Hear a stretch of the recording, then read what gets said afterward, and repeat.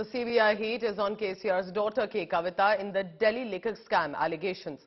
Now, the Central Bureau of Investigation questioned KCR's daughter K. Kavitha at her Banjara Hills residence in Hyderabad for over nine hours in the Delhi liquor scam investigation on Sunday. Following the marathon questioning, TRS MLC also met party workers at her residence.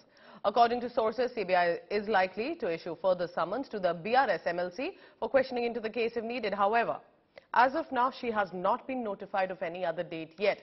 Uh, just to give you a background, K. Kavitha is under the scanner after her name appeared in a document which the Enforcement Directorate submitted before the court while seeking custody of uh, businessman Amit Arora, who's an accused in the case. The remand copy by the ED alleged that TRS MLC was contacted by Arora 10 times through two different numbers.